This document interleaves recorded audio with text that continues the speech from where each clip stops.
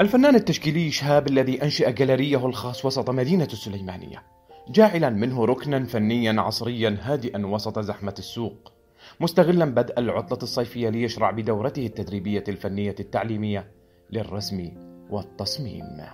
استوديو بيجالري عبارة عن استوديو أكاديمي لتعليم فن التشكيلي من الأساس وهدفنا إنه هواي من الطلاب أو من الاشخاص اللي يحبون يدخلون المجال الفني وفرنا لهم استوديو خاص للتعليم الفن التشكيلي من ضمنها دورات السكيتش والزيتي والمائي والجرافيك وكثير من الدورات في هذا المجال. نشوف الأعداد كبيرة وقبول أكثر هذه الدورات. عطل الصيفية من تجي أكثر من الطلاب آه، عندهم مجال هذه الدورات وعندهم إقبال لهذه الدورات. لذلك يشوفون نكون أنسب من غير وقت آخر. بس بالنسبة للدورات راح تكون مستمرة ويستفادون منها وأي دورات اللي يعجبهم إحنا نسوي لهم إياها.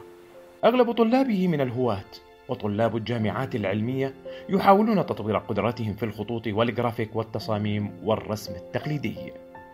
آه، أول شيء كان هواية عندي آه، من أني وصغيرة آه، فأجيت لهنا أتعلم وأصير فنانة. وأصير إن شاء الله معلمة. أه، أول اساسيات كان عندنا أه، درس خاص أه، دائرة وكان خطوط. كان أول شيء ما كان أعرف أي شيء بس تعلمت كثير منه إن شاء الله أصير فنانة. وادرس أدرس بالأكاديمي إن شاء الله. شاركت بدورة الرسم ليتعلم هذا الفن الجميل. وأرسم شخصيات ومناظر طبيعية وهي فرصة لنا بهذه العطلة الصيفية.